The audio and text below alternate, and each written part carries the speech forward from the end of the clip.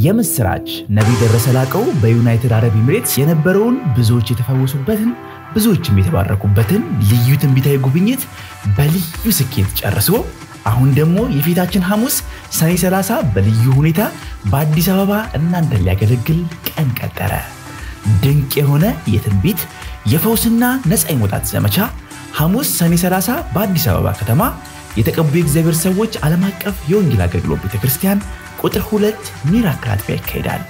በዚህ የአጋንንትን አሰራር ለመደምሰስና ቀንበርን ለመስበር በተዘጋጀ ልዩ ሳምንታዊ ፕሮግራም ላይ እግዚአብሔር አምላክ በባሪያው አልፎ ለብዙዎች ያልተፈቱ ሚስጥራትን በትንቢት ይገልጣል።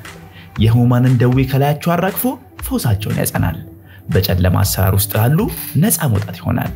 በዕለቱ እግዚአብሔር አምላክ ለምድራችን ቀብቶ የሰጠን ነቢይ ደረሰ ላቀው እናንተን በኃይል በስልጣንና በሞገስ ያገለግላችኋል። ምን ልታረጋት ትፈልጋለህ?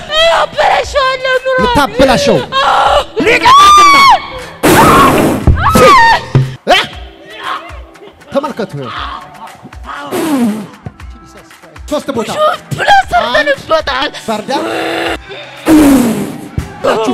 ወርቋን ሁሉ በላችሁ፣ ወይ! እሷን ሁሉ በላችሁ።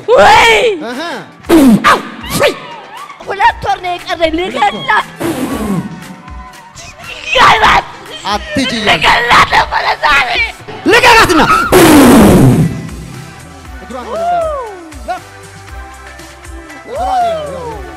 ልቀቃትና! ፍሪ ታዲያ ሐሙስ ሰኔ 30 ከማለዳው አንድ ሰዓት ጀምሮ በአዲስ አበባ ሳሪስ አቦ የእርሻ መሳሪያዎች ኮርፖሬሽን ፊት ለፊት በምትገኘው የቤተ ክርስቲያናችን አጥቢያ በመምጣት የዚህ ልዩ መልእክታዊ ጉብኝት የሚያልፍበት ፕሮግራም ተካፋዮች ሁኑ። ከቅባቱ ውፍረት የተነሳ ቀንበር ይሰበራል። Anointing TV